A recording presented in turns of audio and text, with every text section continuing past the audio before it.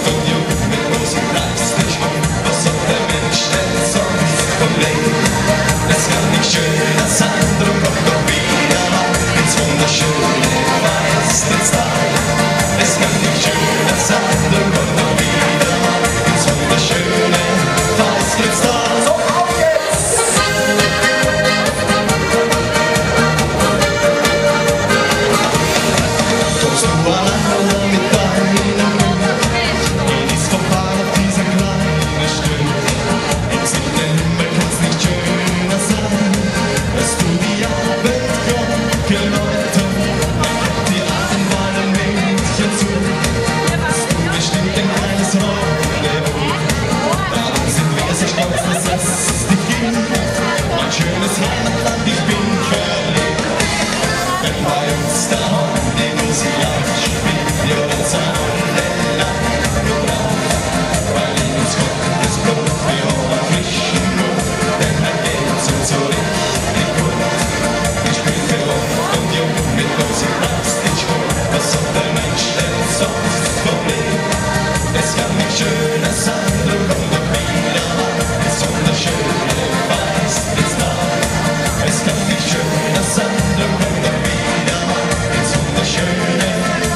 It's